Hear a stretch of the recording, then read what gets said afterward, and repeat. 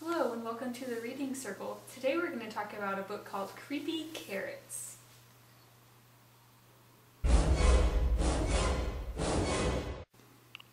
Have you ever wondered what your food does when you're not looking? Maybe your watermelon wiggles a little, or your jello jiggles, or maybe your celery can talk.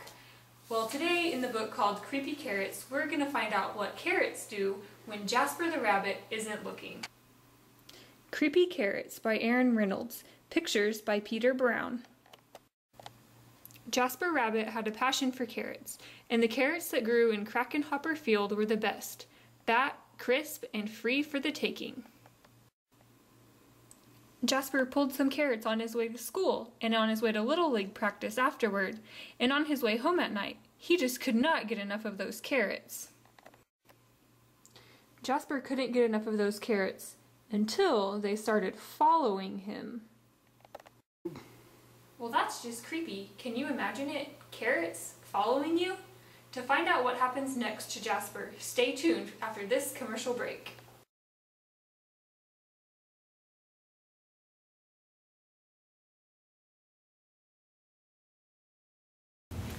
Um, I really liked the book. It was really creepy, but it's one of my favorite books now. Well, I read this book to my nephews and they just cracked up. They love Jasper and those silly, creepy carrots.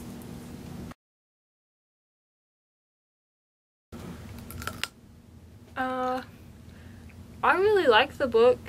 Um, Jasper is really smart and it was a, it was a really good book. I really liked it. You should read it.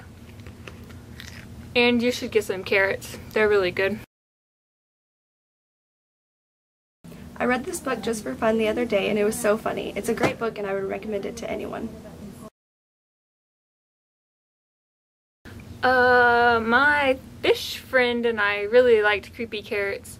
We especially liked the part when the carrot started following Jasper everywhere, especially when he was brushing his teeth. It's a great book. Hi, welcome back. Let's see, where were we? Ah, yes, creepy carrots.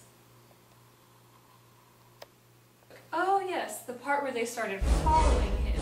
Let's see what happens. Poor Jasper Rabbit thought that he saw these creepy carrots everywhere. He ran everywhere he went, just to be sure in case they were following him. They were there when he brushed his teeth at night. He even thought he saw them in the shed in the backyard. They cast creepy shadows on his bedroom wall.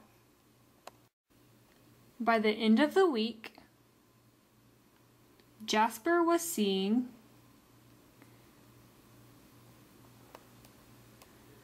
creepy carrots creeping everywhere. They were after him. But Jasper was a smart rabbit. Jasper was very smart. He made good grades, he read all the time, and you know what that kid did? I mean, what that rabbit did?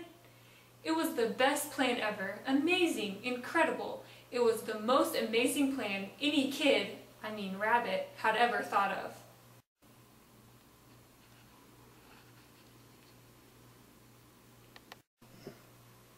To find out what happens to Jasper and his creepy carrot friends, or should I say enemies, grab a copy of Creepy Carrots. You can probably find it in a grocery store near the carrots, or a bookstore or a library.